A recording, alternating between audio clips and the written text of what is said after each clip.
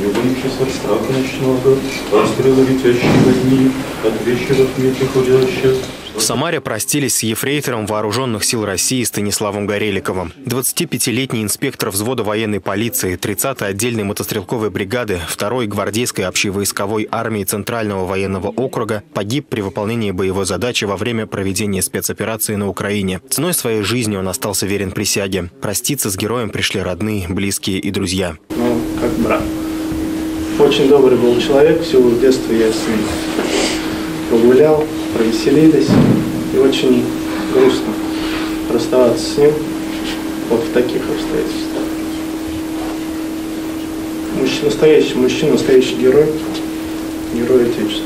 Та смерть, которую принял новоприставленный Станислав, наверное, является примером вот именно христианского подвига, когда человек отдает за своих близких, то есть за мирных людей, отдает свою жизнь. Станислав Гореликов родился и вырос в Самаре. Окончил кадетскую школу номер 170. По словам его близких, именно там был заложен фундамент патриотизма, отваги и мужества. Стас учился у нас в школе, был добросовестным человеком, мечтал посвятить свою жизнь служению в армии и про- продолжить путь своего отца.